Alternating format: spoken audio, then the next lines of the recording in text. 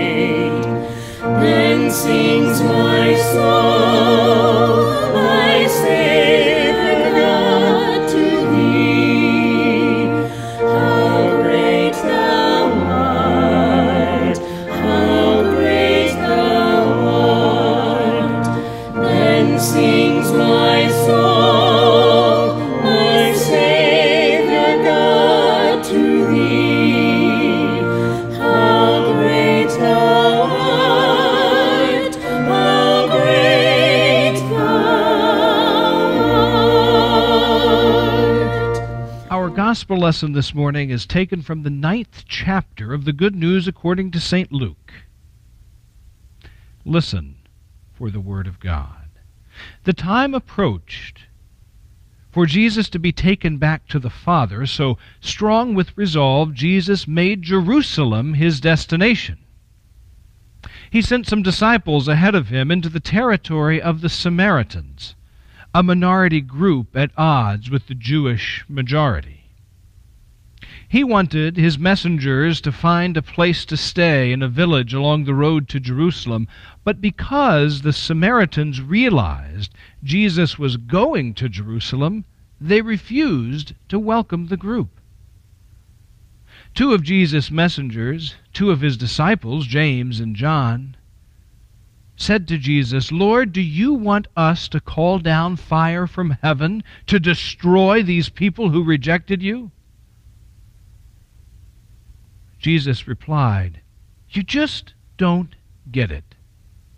The Son of Man didn't come to ruin the people, He came to liberate them. Here ends the gospel lesson.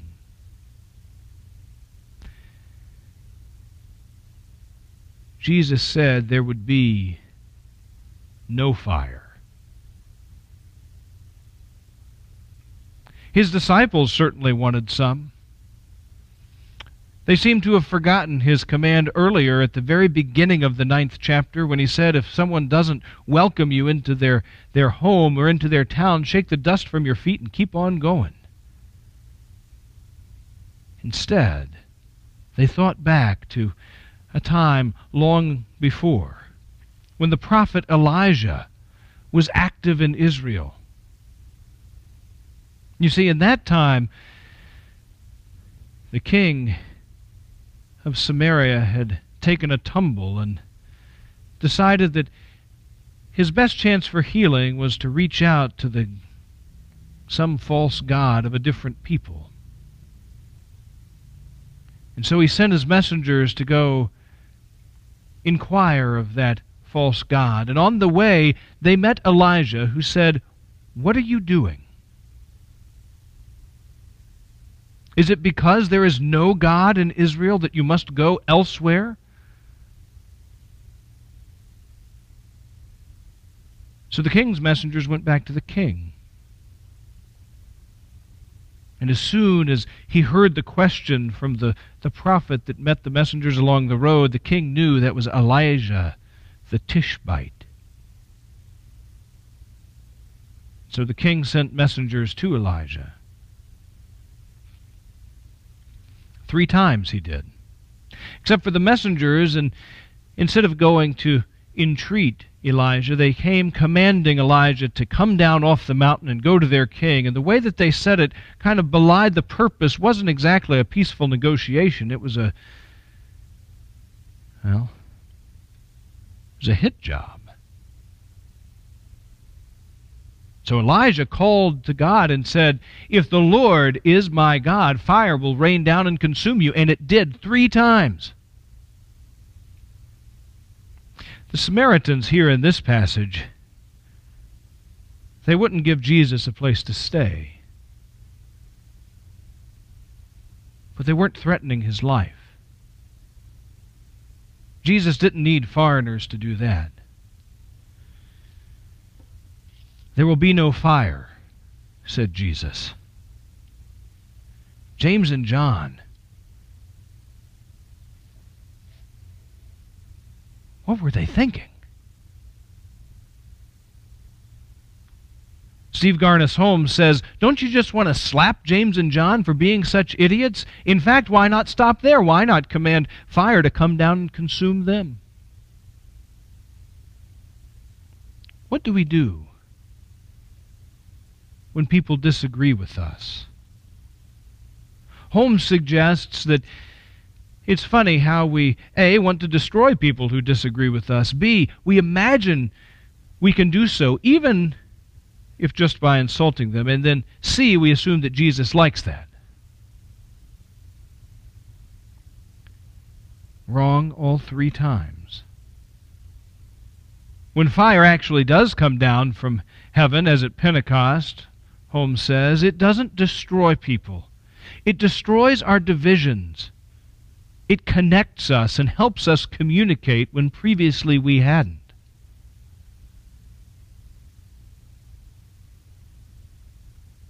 So when people won't listen to us, or even won't accept us, what do we do?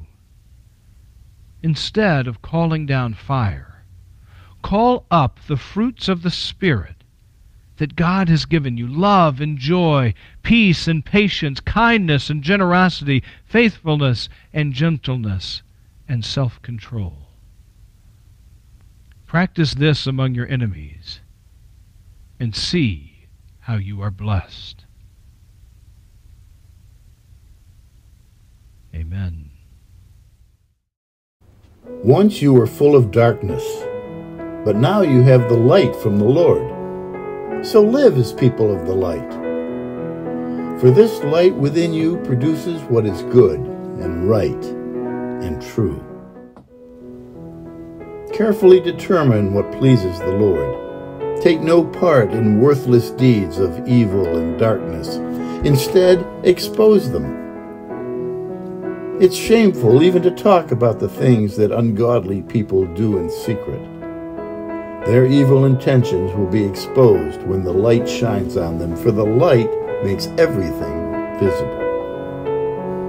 This is why it is said, Awake, O sleeper, rise up from the dead, and Christ will give you light. For everyone born, a place at the table for everyone born, clean water and bread, a shelter, a space, a safe place for growing, for everyone born, a star overhead. And God will delight when we are creators of justice and joy, compassion and peace. Yes, God will delight when we are creators of justice, justice and joy.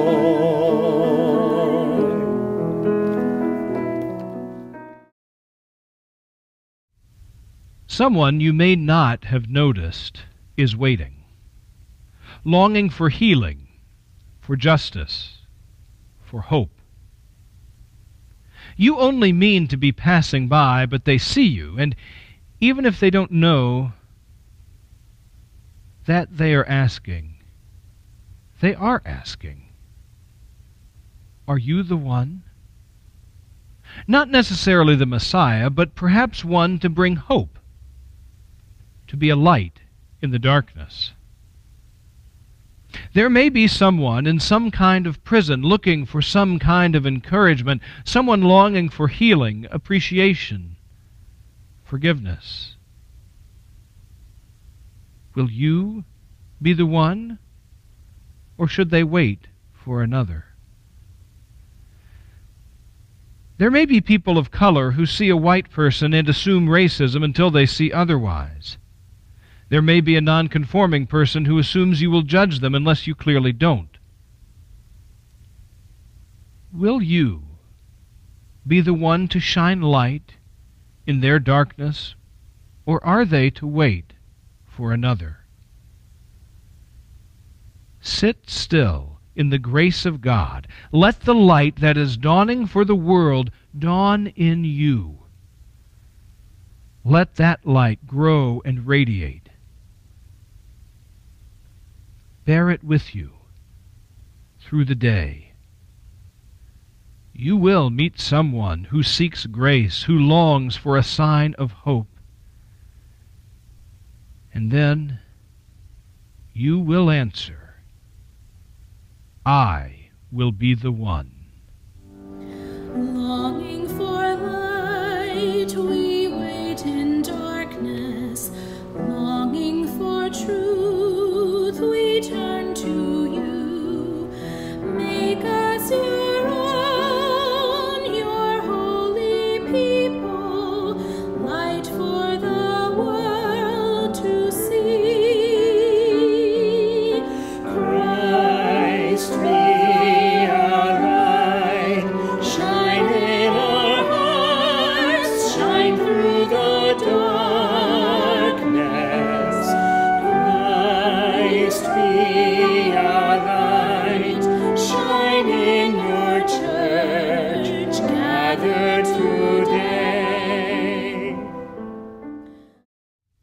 We pick up our story from Luke's Gospel, the ninth chapter, in the 57th verse.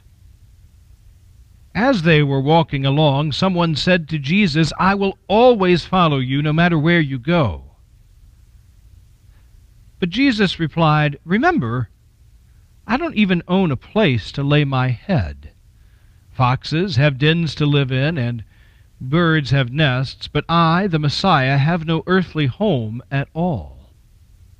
Another time, when he invited a man to come with him and to be his disciple, the man agreed, but wanted to wait until his father's death. Jesus replied, Let those without eternal life concern themselves with things like that.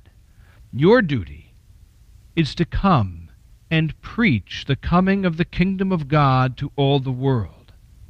Another said, Yes, Lord, I will come, but first let me ask permission of those at home. But Jesus told in, told him, anyone who lets himself be distracted from the work I plan for him isn't fit for the kingdom of God.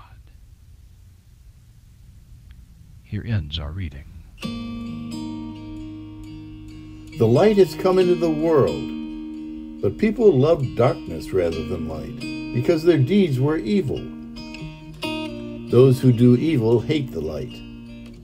They do not come near the light so that their deeds will not be exposed. But those who do what is true come to the light so that all may see that their deeds have been done in God. No depth of darkness can put out the candle for every act of justice. Every act of compassion or of mercy is a light, a star in the dark night of this world. Look at the stars in a night sky. Which one should not have tried? Which one should never have bothered to act in courage and compassion? None of them rids the night of its darkness, yet they shine until they are swept up in the great light of the one who dawns among them. And so we must let go. And the young man went away with deep sadness, for he had many possessions. And so we must take leave, let the dead bury the dead and so we may suffer loss. Leave all behind and follow me. The blessing inside you can't budge no matter the troubles. You are a small island in a great sea of grace. Don't worry about the darkness. For God said, Let there be light.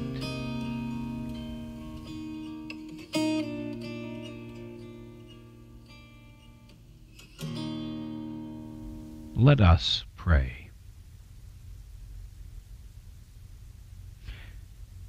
Gracious God, you give us the gift of grace. The word you give us through your Son Jesus Christ says to each of us, Blessed are you. Blessed are you, children of Aleppo and Ferguson and Standing Rock and Sandy Hook and Uvalde and prisoners and immigrants and the bullied.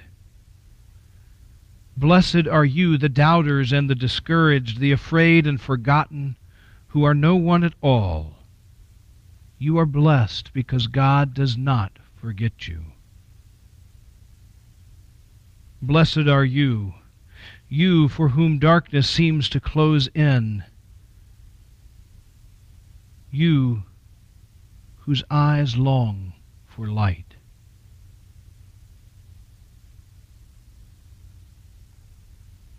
Blessed are you,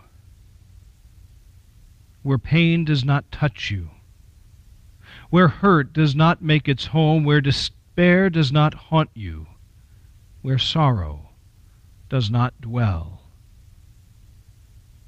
Where disease does not possess you, where death does not abide, where horror does not hold you, where fear does not raise its head.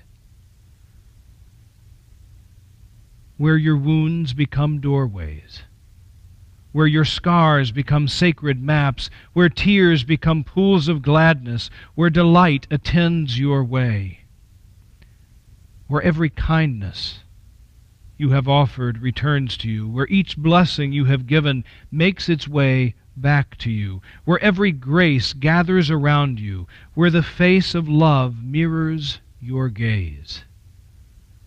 Where you are is where the light shines through, and you are blessed. All these things, gracious God.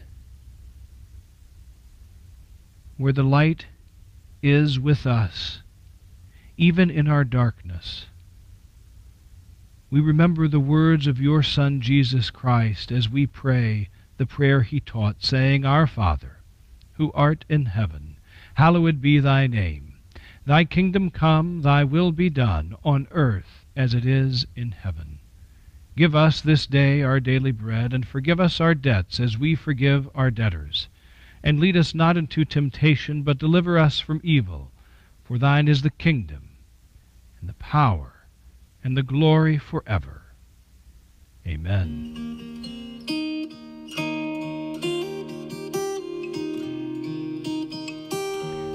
My friends, let your light shine.